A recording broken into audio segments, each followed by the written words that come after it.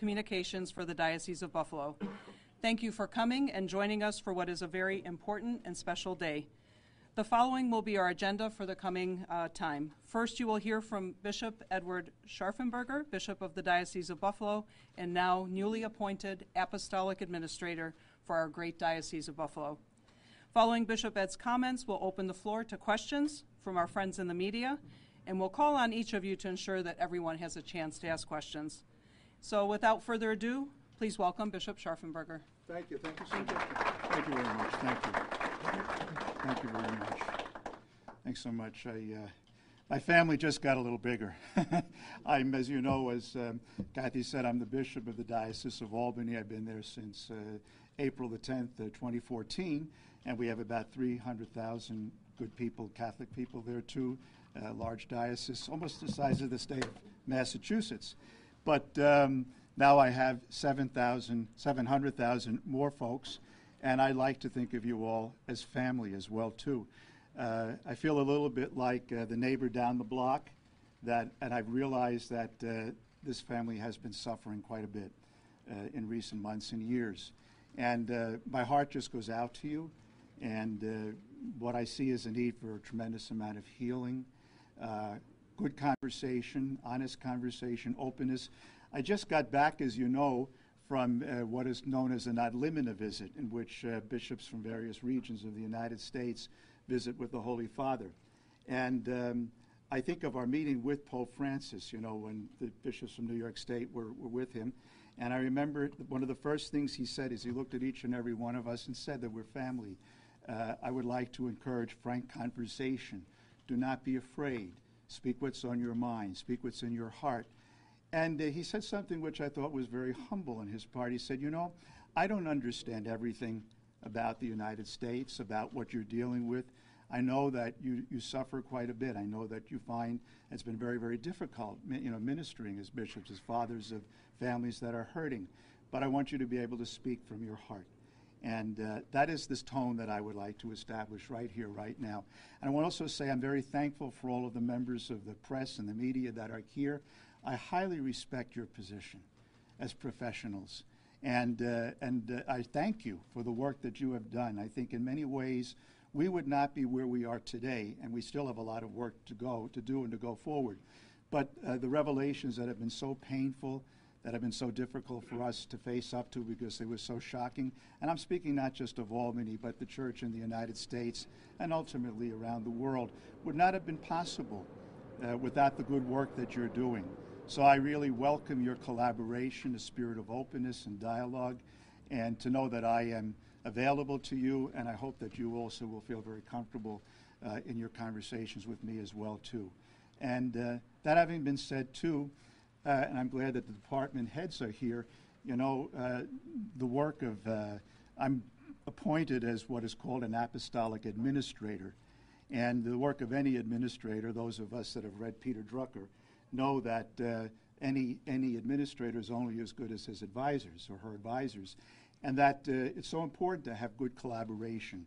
And, uh, and I am encouraging that, you know, particularly cooperation among clergy and laity in the spirit of Vatican II. That's the way I like to manage, consultative management.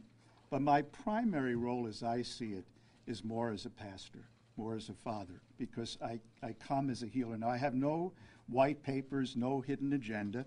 Uh, I didn't get a big document from the Holy See that said this is what you have to do. I have no marching orders other than to show up and to be who I am. So if there are any questions about why me, why was I chosen, why I have no idea except that I'm here. I got the call from the apostolic nuncio and I said to him I'll give it my best shot. But my desire to be with you is uh, as any father, or maybe more of a grandfather, I suppose, of a family that I know is hurting and in need of healing. So uh, my first priorities will primarily be to listen. I want to hear what's in your heart and what your concerns are, where you think we should go. I, uh, this is only my first day here, so I don't come here with a preconceived plan of what I'm going to do. I want to hear from you. And uh, whatever I do, I want to be something that will build up our, our friendship, build up our family. Um, we're all family. Uh, the survivors of sexual abuse are our family. Uh, I want everyone to be know, to know that they are, we will treat with respect. I continue, as I do in the Diocese of Albany, uh, to say, as I do in Albany, if you see something, say something. Never be afraid to come forward. You will be treated with respect. And that uh, the processes, if, if there's need to, to change some of them, we will do that. Uh, if those that are working, we'll continue to follow them as well too, but they'll be done with openness, candor, and transparency. Uh, I can't help but think, you know, recently I attended a conference involving priests that were themselves the survivors of sexual abuse. And I remember saying at one point, you know, I can't think of speaking um, to a congregation every time I speak without thinking that maybe a good 20 or 25 percent of those folks that I'm preaching to have suffered in some way from abuse. Uh, maybe not sexual abuse by clergy, which is so traumatic, but some form of maybe domestic violence or uh, some form of anybody that's grown up in a in a home where there's alcohol or substance abuse knows what that's like. You know, the insecurity and all that, the boundaries that are crossed, how many people are suffering, and, and not to mention victims of human trafficking and other forms of violence, sexual and otherwise. And uh, one of the priests said to me, Father Ken from Kalamazoo, he said, you know, the figures show is actually as high as 50%. So we're all hurting in some way, and even if it's not personal, as members of families, as friends. So we have to develop a sense of openness and trust as family members do, um, and, and a, a great patience. And that's what I want to be able to do with you as we walk this walk. So that's my number one priority. Then again, uh, openness uh, of conversation, particularly with those that are suffering the most. Secondly, I think also uh, uh my vision of a diocese uh, primarily is that the faith the health of our diocese is in our parishes. Now, this is not in any way to say that our support organizations, Catholic Charities, Catholic Education, all of the departments are absolutely key uh, to the running of the diocese. And we'll be sure that all of those diocesan services uh, are kept in a healthy state so that they can do the mission of the church throughout the diocese. But we here at the Catholic Center primarily are here to serve the parishes. And there is nobody that feels the brunt of all of the pain that we've been through all, uh, through these years and these months more than our people in the parishes and our parish leaders. So I want to express my support to the priests and parish leaders, many of whom are lay people as well, collaborating together in every way that I possibly can to reach out to those in our parishes who are, who are hurting. I like to think of our parishes, my favorite definition of parishes is that it's a family of families and uh, a family for those without family or maybe without family. And um, that, uh, you know, they say that home is a place when you knock on the door, they have to take you in. I would like every parish to, to be an oasis of security where people can come home and nobody feels left out. You know, not even the person in the back of the. Seat. I have a friend of mine who's a, a victim and survivor of sexual abuse. And she has told the story many times because this occurred in a very young age. It was a priest friend of her family when she was very, very young, at the age of six or seven. And uh, I remember her saying that, you know, when it became something that she became aware of because it's so traumatizing, that she said, I left the church 13 times. And, but I found myself, uh, even though I was so disillusioned and so hurt, uh, I kept coming back, you know, and sometimes I would just sneak into the church even when Mass wasn't going on. And, uh, and I would come and I'd go. Finally, I got to the point after 13 times, I said, I'm not going to let any human being or any institution keep me away from Jesus. And I know that Jesus is here. So she returned to the church. She's a full practicing Catholic. She's telling her story, and maybe you'll get a chance to hear from her sometime too. She's a close friend. And I think there are many folks like that too, you know, are looking for to find a path back. But there may be some obstacle there, maybe somebody they met. Um, how many times we've heard stories as Catholics, you know, I, I go way back to the 50s. I was born in 48, you know, where you hear somebody that had a terrible experience in the confessional. You did what? You know, or somebody that felt unwelcome and uh, never got over that, you know. And so we need to open doors up and open hearts up and uh, you know, a lot of times people say, you know, how you're going to restore the trust. And, um, and there's no question that trust has been broken or compromised. And uh, I have to be, con- be honest, I feel a little uncomfortable with that. And, and I'm going to be frank because, you know, that's my background. I come from Brooklyn. I'm a straight shooter. I speak it love what's in my heart. But sometimes I feel like, uh, you know, a husband uh, has been unfaithful to his wife and says, well, how many bunches of flowers do I have to send you till you finally take me back and, and trust me again? Uh, it goes much deeper than just performing acts, ritual acts. Uh, uh, trust is something that just has to be built, and ultimately it's a gift. So I would say to any one of you who may not trust me or trust people in my position as a, as a priest or as a bishop or clergy, first of all, don't judge us all as a class. I, I think we, we've done an awful lot of that. You know, all victims, all survivors, all priests, all bishops, all journalists, all lay people, all clerics, all men, all women. There's a lot of that going on. We have to avoid, at least I will try to avoid, uh, writing off people. I like to see every person as a child of God that has a story, that God loves deeply. And I think we need to treat one another with that respect. So I think that is the kind of atmosphere that can create a rebuilding of trust. If we see one another as children of God, all parts of God's family, that our stories, our experiences, some of them quite negative and very painful, are all valuable. And, and if they speak great pain and great hurt and, and even great anger, anger is not a step that we can bypass or sugarcoat. There's a place for anger, particularly if it can be turned into a passion for reform and for good. We have to listen. We have to be patient. This is what we do. We stick together as family. So that's the major message I want to convey. Victims first, survivors first, anybody who's suffering, open door, dialogue, conversation, uh, particularly respect for those that are, are in the trenches, parish leaders. Our role as diocesan administrators is primarily as parish support. We're there to help them, to make sure that uh, the people in our parishes, our parish families, are given the spiritual, moral, emotional, professional support that they need to do the good works of mercy. And uh, I will also say to those, too, that may have been so alienated from the church that uh, they may have been uh, withholding, you know. Uh, the, uh, the work that we do, the good work that we do, is not only to help Catholic people. The works of mercy, for example, that Catholic Charities performs, we're here for the entire community anybody that's hurting the suffering, the poor. That's part of our mission. Even the mission of Catholic schools really was primarily to bring education to poor immigrants, know, people that did, did not have an opportunity to get in uh, to the American way of life, uh, to give them an education, to give them the tools and the skills to be able to integrate into American society. And we continue to see ourselves as serving the entire community. Um, Money is going to be an issue that's going to come up. Financial transparency, the specter of bankruptcy, those things. We'll examine all, all responsible options. Uh, but uh, the important thing, I fully believe that people are very generous of heart.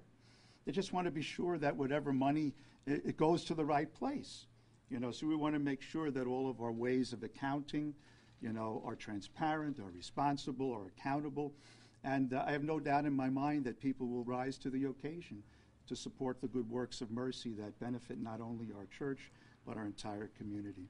So um, I don't know how much more time I have, but I'm, I, I, those are basically the things that are on my mind right now, and I would open up uh, uh, to any questions that any of you may have. To start with, I'm going to call on each of you, and we will have, I think, time for more than one question, but uh, let's get started, if we could, with Michael Mroziak uh, from WBFO Radio. I'll let him get his drink first. Okay. Yeah, you know, I just uh, had a little, a flu type of thing about two weeks ago. It wasn't the flu, so I'm not uh, toxic, but I'm still getting a little off. It's got a little dry mouth. Bishop, uh, first of all, welcome to Buffalo. Thank you. Uh, As part of your role now as an apostolic administrator, what are the statuses of some of the auxiliary bishops um, who worked beneath your predecessor? Where do they stand right now? The, uh, good question. Bishop, there's no change. There's an old principle in canon law. You can read it in the code. Sede vacante, nihil innovetur. That's Latin for your scholars there. It means, it, it, what this is called is sede vacante. In other words, the episcopal seat of the bishop of the diocese is absent. So Bishop Malone is no longer bishop of the diocese. I am not the new bishop of the diocese. I will not be the new bishop of the diocese unless the Holy Father tells me something different, but he didn't tell me that. So I am the bishop of Albany. Uh, nothing changes, basically. Now, when I say nothing changes, that doesn't mean that I do not have the authority to make changes that absolutely must be made immediately. The changing of an auxiliary bishop is not a first priority. Bishop uh, uh, Ed has told me that he's willing to continue to serve, and uh, so as long as he's willing to continue to serve, you know, that he, he, he would. Uh, and his status does not change because of the change uh, in uh, the administrator of the diocese. How much of a say do you have in finding the permanent replacement? That's a very good question. Bishops, this is all, you can see this on the USCCB website. Bishops of a region, and this is the region of New York State, which we have eight dioceses, I believe it is, meet and periodically, I think it's every three years, do submit names to the Holy See at the Holy See's request of bishops uh, candidates, potential bishop candidates. So uh, it, I would be one of the bishops that would be able to propose names of potential candidates to be ordained to the episcopacy. And I can, you know, I don't want to go into a lecture right here, but you'll see specifically bishops will be asked, who would you think would be a good auxiliary bishop? Who do you think would be a good bishop of a diocese? You know, uh, so it does get into great detail. Now, this is coordinated through the, the office of the nuncio in Washington, D.C., who is the Pope's official, Holy See's official representative in the States. I am sure that others are consulted as well, too, but I would be one of those that are consulted. But I'd be one of several. Thank you. You're welcome. Tim Wenger, uh, let's do WBEN, please. I'll defer to Brendan Keeney over here. Okay, Brandon? Okay. Um, what message do you have for people of this diocese who have been struggling for a long time now? What's your message to them and, uh, saying basically that this will change? I am here for you. I'm here to listen to you. I'm here to walk with you, and I'm here to help you heal.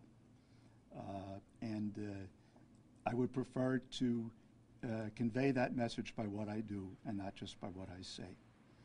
And I will give you my all and my heart to yours. And uh, I would like to say maybe another thing too, which comes from the heart of our faith. that Jesus told us frequently fear is useless, it's faith that counts. I believe that uh, for my personal relationship with Jesus Christ, that He loves me and that He loves every, every person. And I'd like to say this to every person. This is from my faith, of course. And if you're not of the Christian faith, that God loves you. We have a loving God. And that. Uh, uh, and, uh, and I realize that God loves me in spite of my sins and my failings and weaknesses and inadequacies. And I want every person to know that I think that that, that is the same God that we all have, that we can all go. And when we all trust that we're not alone, that there is a God that loves us and is with us, it gives us a great deal of courage and openness to be able to talk with one another and to share our pain and not to be afraid. You know, so I would like to say, do not be afraid. Let's walk together. Uh, it's the message of our faith. I know this is from the heart of Pope Francis because that's the way he spoke with the bishops, and I'm grateful to him for appointing me. And I want to uh, to to uh, be a spiritual father uh, in, in that same spirit, you know, with all that I have. Were you given any sort of indication on how long you'd be looking? Absolutely not. I have no, none of the backstory. I don't know any of the machinations that went into my appointment, you know, who ultimately did it. I know ultimately it was Pope Francis that decided it would be me. And uh, I was, there's no white paper. I have no agenda in that sense. You know, I'm not the Grand Inquisitor. You know, I'm not here as a knight in shining armor. I'm not here, you know, as the fix-it man. I'm just here to be as a spiritual father and also obviously as an administrator to make sure that the diocese uh, continues to operate in a way that is uh, accountable, responsible, transparent, and, uh, and uh, uh, in a way that effectively serves the mission of the diocese. So that's, that's the long and the short of it. Thank you. Yeah, you're welcome. Jay Tokasz, Buffalo News, please. Sure. over here. Hey, how are you? Hi, Buffalo News. Yeah. Um, So, um, aside from the man at the top, very little, if nothing, has changed in this diocese at this point. There's still a lot. Well, it's my first day, you know. There's, there's a lot of turmoil Yeah, here. yeah. You know, two hundred lawsuits under the Yeah. CVA. You mentioned specter of bankruptcy. Um, What, what can we expect going forward in terms of your addressing those things? You could expect that that will be addressed, and uh, I suppose in some ways, uh, you know, bankruptcy is a specter, you know, and I know there's a lot of concerns about the effects this would have on the lawsuits, you know, the ability of victims to pursue justice, which I'm very sensitive to. There, you know, people who are using, making use of the CVA, but I also will hear from professionals who understand the process and whether or not it is appropriate, which may well be. Uh, that'll be a decision that will be made as quickly as possible with consultation. And, uh, and I will listen to those that have experience in uh, how the, what these options are. Uh, and obviously, the, the possibility of, of Chapter 11. Uh, you know, remember, the prime concern that we have is that the good works that we do can continue and not be impeded. And then also that all of those who uh, have legitimate uh, claims and, and need to be helped and given assistance are not deprived of that as well too. There's a limited amount of assets and resources to go around, and uh, the challenge is to make sure that they get properly and fairly distributed. So that would be another factor involved in, in the consideration. A a lot of times, as you know, in legislation, you have the possibility that you know one particular case may eat up all of the assets and then deprive others of the possibility uh, of, of receiving some sort of assistance that they may need. So all of these things will be taken under consideration. And as I say, whatever I do will be done with full professional consultation, and the decision will be made quickly. You have the, the authority to Yes, that. absolutely. I have all of the authority of a diocesan bishop unless anything was withheld, and nothing has been withheld.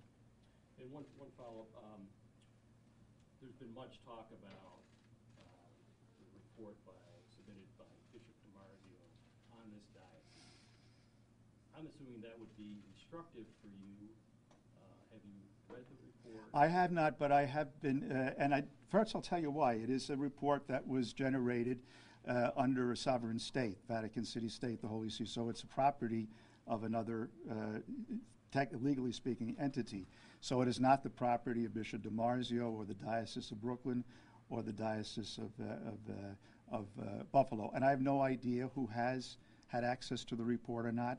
I have had conversations with Bishop DiMarzio, who is a you know colleague of mine. I come from the Diocese of Brooklyn, so I have some idea uh, of some of the uh, major factors that were identified, and they're very much along the line that I have just spoken to you as well too about the uh, the uh, uh, the lack of, um, uh, of, of ability, I suppose, uh, to continue the governance of the diocese uh, that Bishop Malone has faced, about the uh, uh, disaffection among clergy and some members of the diocese, uh, about the need for healing. That was the prime thing that I'm aware of, a need for healing, and to have somebody be able to come in and help to heal the pain. And uh, uh, but uh, I do not know the particulars, but In, in the interest of transparency, would you push? uh, I don't the push. On the I, Vatican I, to I- do I that? don't push the Vatican. I tell the, I, no, I don't do that. I'm not, I'm not political. Uh, and I, I do not manipulate, I do not use that type of approach. I will make it very clear that whatever information, you know, you can share with me, I would appreciate it. I will ask. Fair enough? Yeah. Sorry, we have uh, Charlie Specht from WKBW, our local ABC News Okay, affiliate. Charlie, how you doing? Thank you. Um, You mentioned Auxiliary Bishop Grosz is going to stay on here and and play a a role as your auxiliary bishop.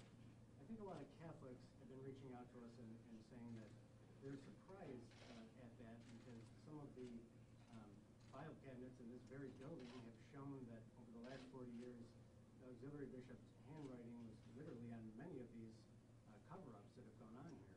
How can people have uh, faith and trust that the diocese, under your administration, is charting a new course when you have uh, part of the old guard still in place? That's a very good question, but you're giving me information now that I'm hearing now today. So uh, I did not know that uh, what you just told me is the facts. I've read a lot of different things. And if that can be established and if that proves to be something that would make it difficult for uh, Bishop Grosz or any other priest of the diocese to perform their role, uh, then that would have to be something I take into consideration, and uh, it might might alter the status status quo.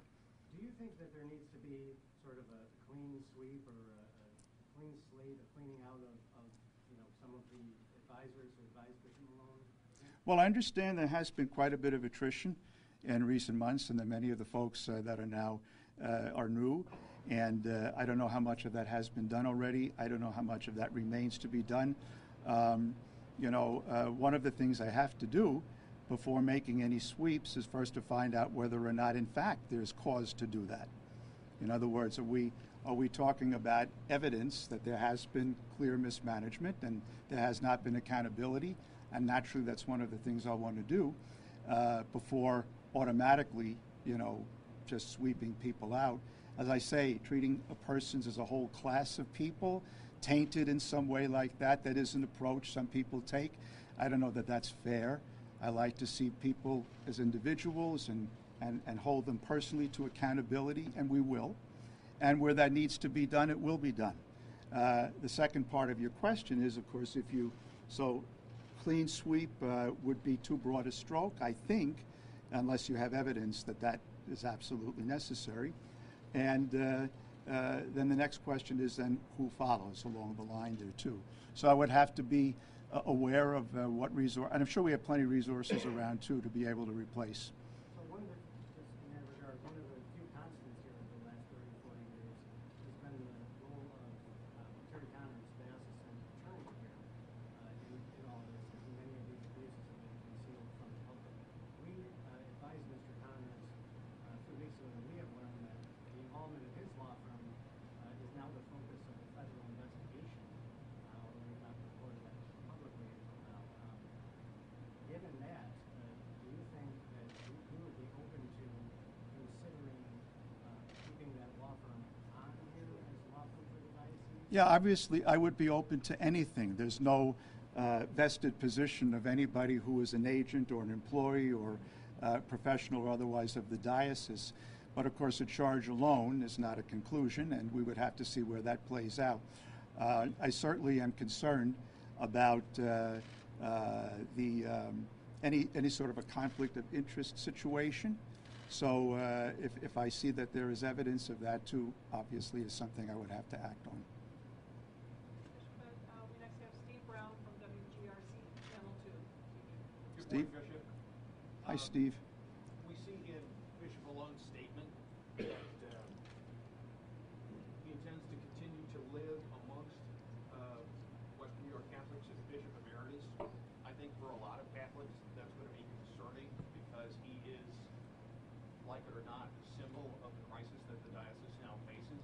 Can you please define what role he's going to have and how active that might be? The uh, bishop, uh, Bishop Emeritus, of the former bishop of a diocese, becomes a member basically of the clergy of that diocese, and the Bishop Emeritus uh, or any other bishop would serve uh, at the pleasure of the uh, bishop of the diocese, or in my case, the apostolic administrator.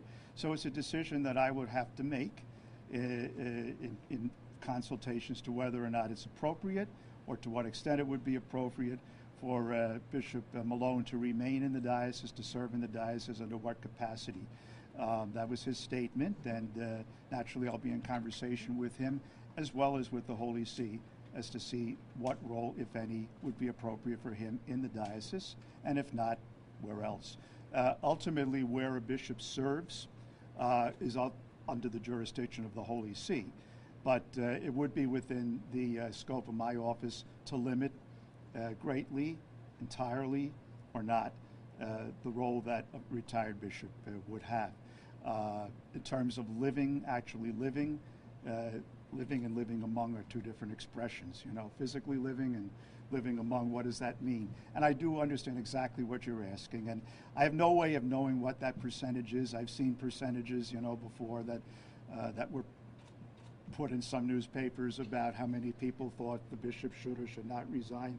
I don't know whether any conclus- anything conclusory can be drawn, you know, from that.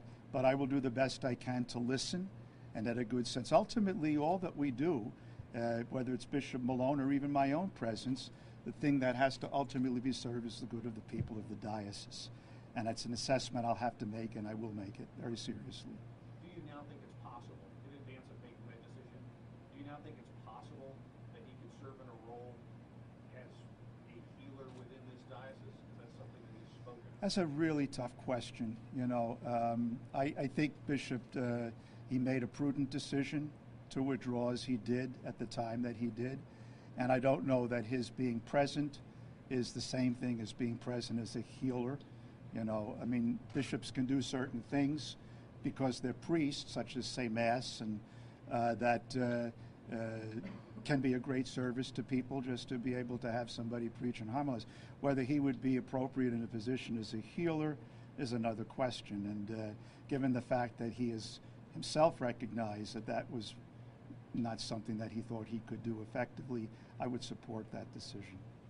One last question. In regards to the parishioners in Western New York, how are they going to get, excuse me, how are they going to get to know you? Are you planning Well, to visit parishes? Are you uh, planning to get out amongst the people? Uh, absolutely, to the best of my physical ability, and thank God for electronic media. My commitment is to be physically present at least one day a week, you know, uh, throughout the foreseeable future. I have it in my calendar through May 11, simply because that's when my confirmation schedule gets crazy.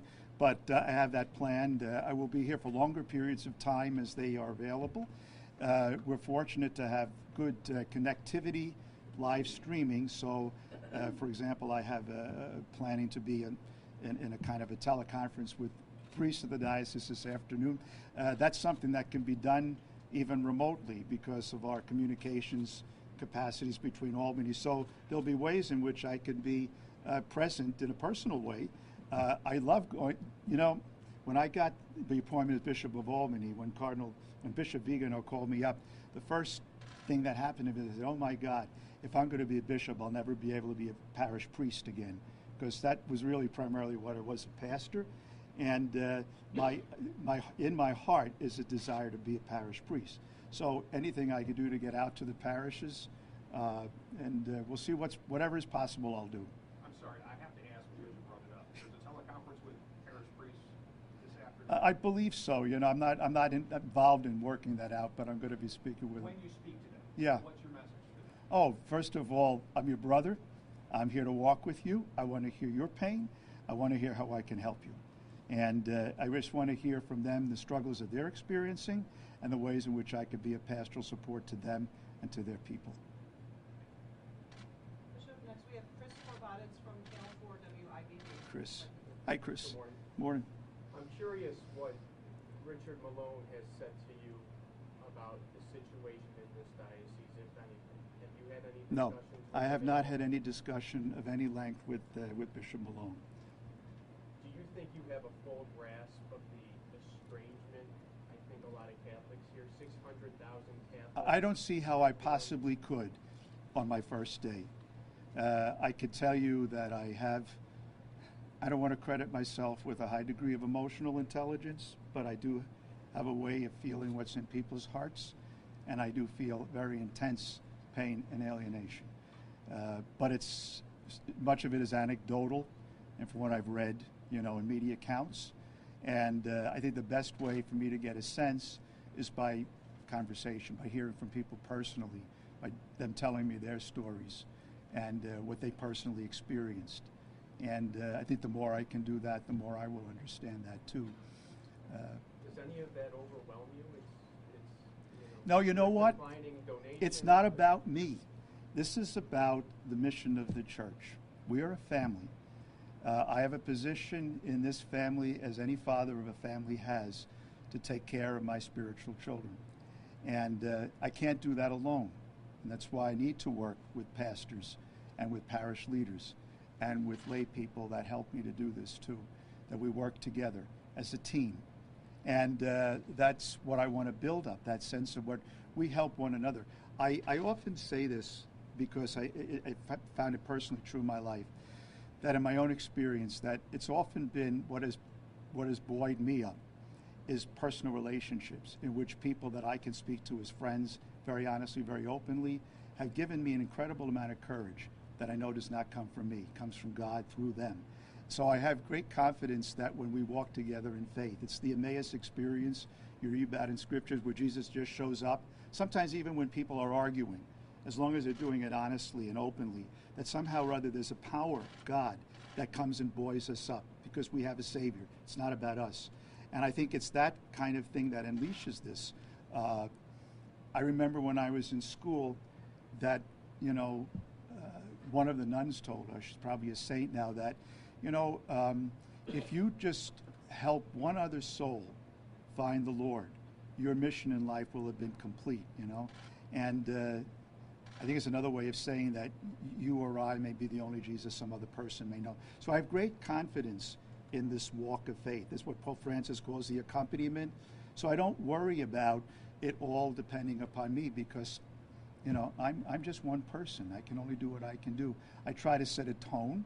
I try to set an atmosphere. I try to, you know, open my heart, encourage others to do the same as well too. But ultimately, my confidence is in the Lord. My favorite prayer is, Lord Jesus, I trust in you. If I wake up screaming in the night at three o'clock in the morning, worried about what I'm going to do, I just say, Lord Jesus, I trust in you, and that's my faith. That's what that's what impels me, and that's why I don't panic. You know, Jesus says fear is useless. It's faith that counts. Finally, can you tell me i- if uh, tomorrow somebody calls this building with an allegation priest, how will you handle that? Immediately. Immediately. I will first of all say, tell the police right away. And then I will follow the normal procedures that we do. Uh, you know, what we've done in, in uh, Albany and what I would, would do here as well too is that if an allegation comes in, shows on its face it's some credibility, and by that I mean it doesn't have to go through legal counsel. Somebody says I was abused. If it's contemporaneous, obviously you have to address it immediately. And the appropriate thing that's usually done in a case when an allegation like that comes in is that you uh, inform the priest and then you uh, put him on administrative leave. So you put him out of active ministry until it can be investigated and you know it can be substantiated and then you take appropriate steps after that so you follow that process but again i, I would say to anybody if you uh, have any uh, allegation to report you know go directly to the legal authorities we also do have uh, toll-free numbers that are published on the, the website both for ethics issues as well as abuse issues contemporaneous or otherwise so i always say if you see something say something you're welcome Cameron Hurst is from Tap Into Greater Olean. Where's Karen? Oh, how you doing? Um, your background, uh, from what I've read, is in canon law, and that you have a law degree and are administrative. Don't hold that against me, all right? Yeah. Um, how do you feel as though that background, do you feel as though it uniquely qualifies you for a situation? I am not the judge of my qualifications here. The Holy See, the Pope decided to appoint me. I accept his judgment. He knows my biography and background. He's heard from others that he's consulted with. I trust that decision. Uh, a strength of this diocese as well is the presence of Catholic higher education, um, several of which who have had leaders that have called on Bishop Malone's Right. Do you plan on touching base with those- Absolutely. with leaders? Absolutely. I'm looking forward to conversations with the good folks in the academic community. I'm Jesuit educated myself too, you know, too, but I know Canisius College and Bonaventure. I'm I'm looking forward to that, yeah. Thank you. You're welcome. Bishop, next we have Megan uh, Hall from the Olean Times Herald. Hi, Megan. Uh, so the movement to restore trust in Buffalo called on your players Yeah. to resign in September. Yeah. How do you plan on working with them, and what is your thought on that? P- I'm sorry, I didn't hear the last part. How do you plan to work with the movement to restore trust, and how do you? I plan to work with them. That's it. And as best ways we can collaborate together with their skills and mine and anything I can bring to the table, of course I do. And I'm thankful for their initiative, yeah. Thank- yes. And earlier today, you said you don't consider yourself a fix-it man. If you, A what man? you said I don't consider myself a fix-it man. A fix-it man, yeah. Yeah, because everybody wants something to be fixed, and I'm not sure, you know, I have to, uh, I'll do what I can, you know, if, if there's any fires burning, I'll try to put them out. I'll, you know, uh, if anything that needs immediate attention, but, you know, I, I also think that that's not my, what I meant to say is I'm not the only one here to do that. That's not my point. You go in and you fix everything, you know? I want to get the fixing in motion, but I want to do it with you. Do you believe the damage done to the diocese can be fixed, or Absolutely. There's always room for hope, and there's al- as long as we have a life breath in us, not easy, Not easy. Scars are going to remain. Memories are there. And anybody that's been a victim of abuse, that triggering moment can always happen and never goes away. You know, we have to walk with that pain a lot. You know, I mean, when Jesus, when he rose, he still had the nail prints in his hands. You know, so the memories uh, uh, are always going to be painful, but we're in it together. You know, we're not we're not alone. Jesus told us, "I will not leave you orphans." You know, so we're going to get through this. It's what families do.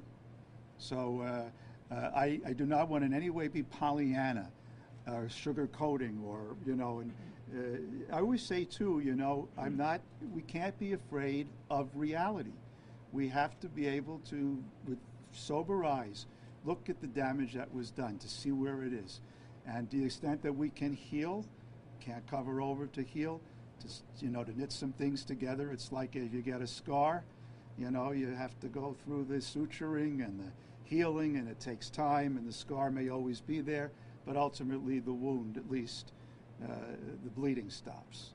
So it's, I use a medical analogy, but there may be others. Yeah. Thank you so much, Megan. Who? Okay, Mark Goshgarian, uh, Spectrum News. Hi, over here. Hi, Mark. Good morning, Bishop. Morning. Uh, I guess at this point, I'll just maybe follow up on a couple of things that has already been brought up. You talked about financial transparency and the, the bankruptcy issue. Um, with, uh, the resignation of Bishop Malone and the, and the crisis, do you have any idea what kind of impact it has had on the collections on Sunday? Are parishes losing money on a Yeah. basis, which perhaps led? to Yeah. I, I've already heard of that too. And, you know, in my experience, um, people are very generous and they will give generously and sacrificially to what they believe in and what they believe is good. But they also want to know that what they believe they're giving to is going to where they intend it to be. So this is one of the challenges that I will personally have, and I'll take on it very regularly, to address that. You know, where there has been, you know, sometimes the withholding of finances is, is it also another way of stating I'm dissatisfied with the way things are. It may not even be a concern about where the money is going, but it may simply be that I'm angry because I'm not being listened to, or because something is, uh, some situation is persisting that is wrong. So I have to get to the bottom of that. Do you have a sense of how much money the diocese and churches have actually Not at this point, but I'm, I'm sure I will pretty soon as I'm briefed. And I'd like to follow up lastly, um, you said you haven't talked to Bishop Malone? Oh, I've spoken with Bishop Malone, but not about uh, the circumstances in the diocese prior to his resignation. Can you sort of give us a timeline of when you were actually uh, appointed? Yeah, I, I was aware. Well, I, first of all, I was aware of the timeline of the report, you know, which was throughout the month of October that the visitation that Bishop DiMarzio was doing under the direction of the Holy See. And uh, I will tell you that um, at, at some point prior to my leaving for the Ad Limina, I received a call from the Apostolic Nuncio, uh, Bishop Pierre, Christophe Pierre, that uh, I was being considered as a possible appointee uh, as, as apostolic administrator, and that uh, he would take that to the Holy Father, this recommendation, and that uh, probably an announcement would be made uh, at some point shortly after the Ad Limina visit. Uh, so in Thanksgiving week, uh, I was made aware that it would happen, that Bishop uh, uh, Malone would uh, retire, and that an announcement would be made. Originally, that was scheduled to be December the 2nd, and I guess because of some circumstances logistically in the diocese, and I'm glad it turned out that way because we were snowed in in, in, in, in Albany on Monday, that it would be today. So that was the timeline. So is it fair to say then, when the bishop, was, the former bishop was asked if he had submitted his resignation, um, he said he had not, that that wasn't a truthful statement? N- No, I, I have no knowledge of. I have no knowledge of when, if uh, Bishop, uh, uh, whatever conversation Bishop Malone may have had with uh, with the nuncio or not. You know, I just know what happened in terms of my own uh, uh, information. That's all. Yeah. Bishop, this is Eileen Buckley from Channel 7 WKBW. Hi, Eileen. Over the summer, I spoke with a survivor, and she told me that she never spoke with Bishop Malone, he never reached out to her, and there have been other survivors that felt shut out. Oh, absolutely. And, and I encourage any survivor that uh, has come forward already or wants to come forward now to please come forward. And, you know, if you have a claim, if you have an immediate thing you want to report, do just as I said. And I will meet with any and all survivors. Uh, that's absolute, yeah. And I know again, the bankruptcy issue is still out there, but some of them have said too that they feel it would not be the proper way to tell their story in court as they want to have their story told in a public way in that court, and that bankruptcy would handle it differently. How do you respond? to I think it's really a decision that every survivor has to make according to their best advice as to what is in their best interests, you know. And I would encourage any survivor to pursue whatever means possible in order that they may have their say, you know, whether they choose a civil means of doing it through the CVA. Uh, as you know, it's, we have a separate process, you know, through canon law, in which a person can make an allegation, even a criminal allegation, uh, through uh, our canonical processes. And there's no reason why both cannot be done simultaneously. Remember that the CVA primarily uh, focuses on civil cases, so the standard of proof is somewhat different, you know. But if somebody uh, uh, wants to make a civil case in a civil court, which is fine, they may also want to pursue it on criminal grounds. You know, if it was sexual abuse that was done, that is not available to them in civil law because of the criminal statute of limitations. However, the church does have a process whereby that can be pursued, and particularly if the uh, if the uh, uh, if the alleged uh, perpetrator is alive, to be disciplined appropriately. There are some parishes that were affected by the sex abuse scandal, some not as much, that were directly hit by it. Will you be reaching out to those parishes kind of first? Absolutely. I mean, any any way in which I possibly can, uh, but also, you know, uh, one of the ways in which we can do this in parishes is by enabling parish leadership to engage people, particularly those who are the helping professions, to work together to create, as I say, this kind of oasis or context in which people who want to speak about, I, like I've known, for example, in my own diocese, one case, for example, in which a priest who himself had suffered abuse, you know, made that known to, to the parishioners. And interestingly enough, people started coming forward, and, and not because of sexual abuse by clergy, but by other forms of violence that they may have experienced in marriages and family life, and, and uh, actually started creating little networks where conversations could go on and, uh, and uh, a safe environment in a safe sort of way. So, encouraging those kind of things in parishes to the extent that my presence would help. Uh, sometimes it is helpful, sometimes it's not. There are some times in which a person who has been a victim of abuse, say by a priest, may not necessarily welcome the presence of anybody with a Roman collar on.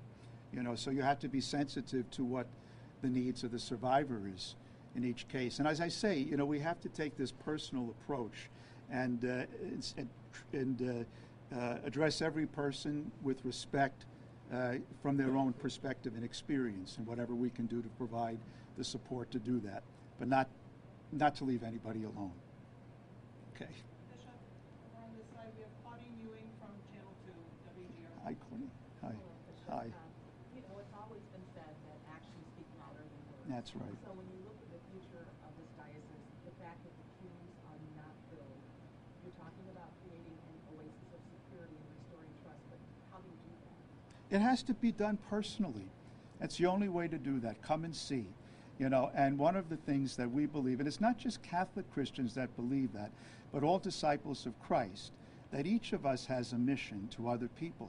And uh, I, I, I am very conscious that the institution has a responsibility to support that as well too. But I think, for example, the question of why pews are empty, you know, uh, I, I it speaking with a lot of young people, and I'll use the word millennials for want of a better word. You know, I, how many times have we heard people say, I'm, I'm spiritual, but I'm not religious? You know, the fact that they're not sitting in the pew does not mean that they do not want a relationship with God. And a lot of young people I speak with just feel that they're not finding that sense of God's presence in the church community for different reasons, which we can talk about another time. They don't feel, they're looking for that transcendent, that God is here, and they're not necessarily feeling, or they're not feeling a sense of welcome or community. that somehow or other that they don't feel that. So making churches places of welcome, but also places where people feel they can really experience the presence of God. Uh, you know, that is the ultimate challenge. Uh, I don't know how, you know, Gandhi once said that if, if God was to come again, he'd have to come in the form of bread. I don't know if he was referencing the Christian belief in the real presence of Christ in the Eucharist, but he had that sense that, as you pointed out, that there has to be a very concrete sense of personal presence. So I believe that that's the way it has to happen. And I don't, as you say, uh, issuing fatwas or statements or pastoral letters and all that. I don't know if anybody even reads them. You know, uh, I, I have to try to work, and we have to try to work very, very closely with people right on the scene. How can we welcome people back to say, this is a place where it's safe? You can encounter the presence of, we can pray together, we can talk together, we can walk together, we can share our stories, we can commiserate, uh, we can complain, we can express our anger.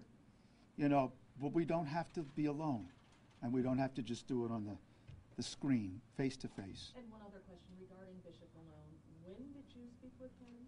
I, I spoke with Bishop Malone on the bus in Rome one day, and I was aware at that time, I guess, that he knew something was happening. I mean, this is, I, I, I don't want to sound mysterious, but, you know, uh, the only communications I had was with the nuncio, you know, to be alert something may happen.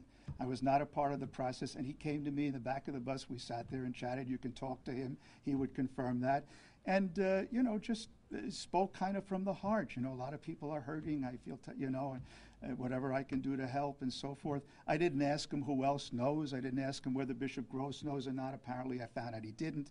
You know, but, but I've never been the kind of person. I'm not an investigative reporter.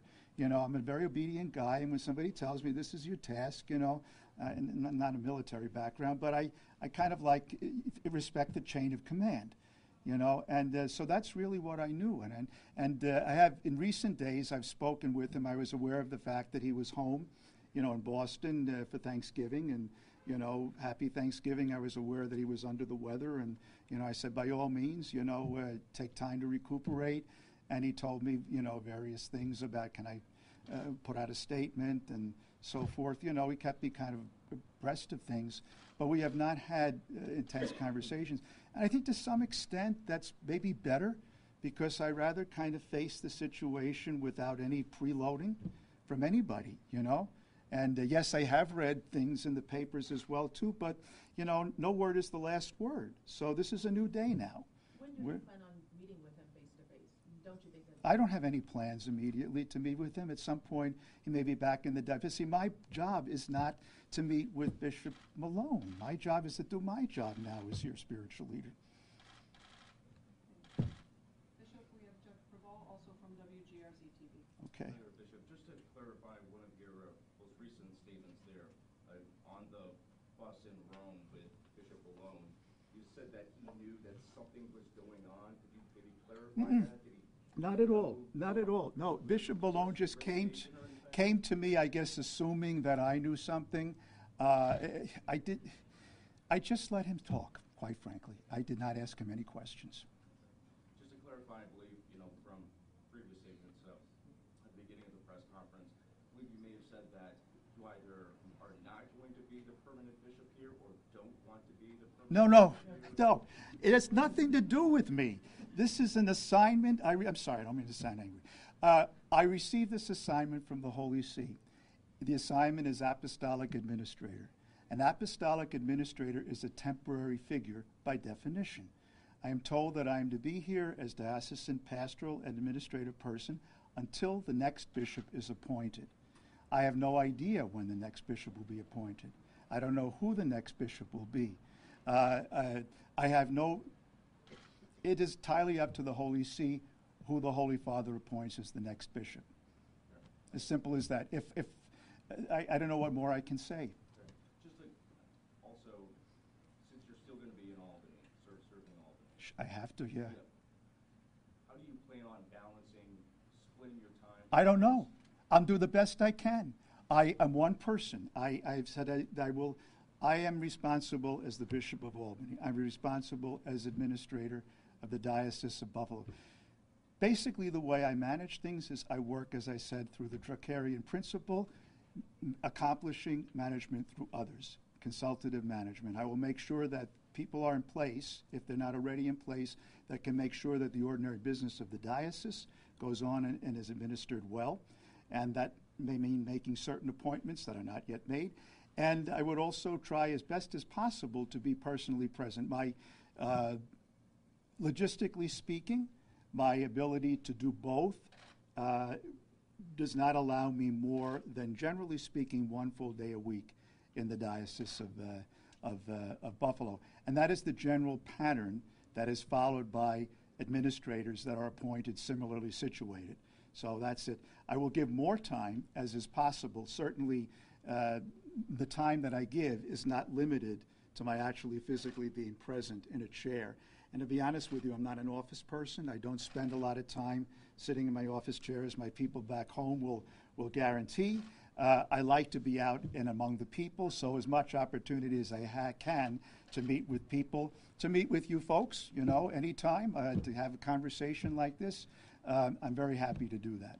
One final question. Um, Of course, you all know we live in a digital age, and I noticed, I know probably a lot of us have noticed that you have a Twitter, Yeah, Twitter account. We'll use it. plan- Do you plan on, you know, providing updates? Sure. Communicating? with your Absolutely. Absolutely. Everything. I have very good communications people, and we'll make sure that as much information as I have, as much information as you seek, that we'll use all of these medias of communication that we possibly can. Absolutely. Bishop, we have a follow-up question from Charlie. Yes, Charlie. Hi. One more question. Yeah.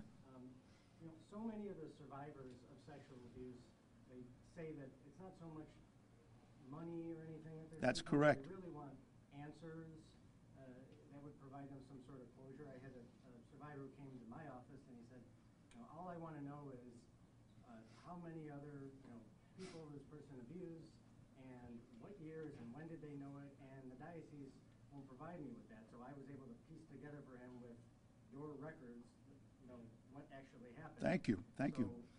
Is that something, would you release the secret files of at least the acknowledged pedophiles? A- Anything that I possibly can do to help victims in order to have the information they need, I will do. And if it means clarifying our list, you know, putting names up, putting more information, whatever can be done in a way that's transparent and responsible, absolutely. So even the specific personnel files of the acknowledged. Personnel files, uh, you know, we have, I have to follow the, uh, whatever it can be done within the scope of canon law, is basically what I would say. And one last question, uh, Bishop Rose, is from Marley Teskis, she's with Channel 4. Okay, Marley, hi. I just wanted to ask, how do you believe that your past uh, serving on the diocesan review board for sexual abuse of minors will better help you serve? Oh, thanks for that question. I have to tell you, the experience, and it- it's to what Charlie just said uh, a moment ago, too. When I was asked to be the priest representative of the priests on the Diocesan Review Board of the Diocese of Brooklyn in 2002, shortly after the charter, I mean, I have to be honest with you, at that time, I thought this was a press generated sort of thing, like a lot of people did something against the church and so forth, because I had no personal experience, you know, of, of the plight of so many people that were abused. And uh, what happened was, is my experience in the board just opened my heart to see all of the different, and this is partly of how I've developed the view that I have of seeing every person individually as a personal story, not just survivors, not just pedophile priests or whatever, you know. That experience of working with collaboratively, mostly lay board, you know, we had a police chief on it, we had a, uh, uh, a college professor, we had a, a survivor of sexual abuse who himself was a was an attorney, we had a religious sister, we had uh, so many really good people, and meeting, hearing the stories, you know, of survivors, and I think probably about 40 or 40 or 50 that we listened to. First of all, the one thing that was clear from the start is none of them had to do with money. I mean, in the sense of that was not the motivation. Most I just understood. We want to be heard. We want somebody to listen. You know, to take take my story seriously. This happened to me, uh, and uh, so uh, we even had an investigator working with us who was a specialist in sex crimes, and she was not even of the Catholic faith. And uh, I say this with pride and with surprise when it happened. She actually decided to come into the Catholic faith because she was so uh, moved by this experience of the, of the people on the review board and what we learned from the survivors and what we learned from one another. And we went at it at times too, you know, like we had disagreements and, you know, and there were some times in which some member felt we weren't given enough attention to, to the to the priest who might have seemed to be innocent, uh, or we given too much, not enough attention to the, the, the actual circumstance. We had one case in which, anecdotally, but it's true, in which it did turn out there was a financial issue, but it was the case of a father who was in his 60s and came forward to tell an account of his own abuse because his daughter was in dire straits financially that he thought he could help her out. So he was willing to put himself on the line. He had never told his family, you know. And uh, so, I mean, but that was the, the motivation was, again, was to help another human being. So that really shaped my view of the, uh, of the, what I think most survivors, the situation most of them face, you know. Uh, that having been said, you know, maybe I shouldn't say this, but I will. You know, obviously there, they could be mercenary interests in whenever litigation is involved. You know, uh, one of the things that concerns me with the CVA, I'm very happy was enacted, but a very small number of victims uh, really have access to the use of the CVA because in order to find a legal firm that will represent you, uh, to make it worthwhile for them, it's necessary that they have some tie-in with some agency that can provide financial review. I mean, 81% by the statistics of, of cases of sexual abuse occur in families, you know, by people that are known, fathers, mothers, and people don't sue their parents and uncles. You know, so I'm concerned about uh, the vast majority of victims who will never have their day in court because they can't get a lawyer to even take the case. You know, and that's why I think it is important that we as a church keep our doors open and say, look, at even if you don't want to get involved in a civil case, which you're welcome to do if you want, please come to us so that we can address, you know, and we'll we'll get all the resources we need in order to make sure that people can tell their story. We have to do that.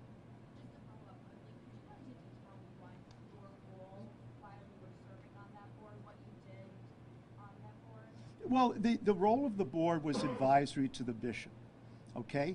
And our job was basically to receive, first of all, when the claim came in from the victim survivor. And then what we would do is we would submit this to an independent investigator, okay, who is an independent contractor, professionally qualified. And then the, uh, the investigator would make the report to the, to the board. And then we would try to analyze, you know, does this seem to hold together? Is this credible? Uh, you know, uh, do the facts seem to be consistent and so forth? And we used principles that were available, generally speaking, in evidence, you know, because we had legal scholarship, and I guess my own expertise there also helped me. And then we would make a conclusion. I would say, maybe with one or two exceptions, about 99% of the time we found the allegations to be credible, because usually people don't come forward unless it takes an incredible amount of courage to do this, you know? And, uh, and then we would make a, a, the recommendation to the bishop, and then the bishop, I think, almost invariably accepted the recommendation, took the appropriate action, uh, reached out to the victim to see what type of assistance could be offered, which started actually right from the time the complaint was made. You know, we would always do that, and we do that in Albany too. And then, uh, you know, appropriately, obviously, discipline the uh, the perpetrator as as is necessary. And it was a, a emotionally, spiritually, humanly, a very enriching experience for me in my life. And I have to say, has a great deal to do with my perspective right now. Thank you. All right, Bishop, with that, I want to thank you, first of all, for your time. and Sure. Well, thank uh, you for your time. Thank you. Thank you. media,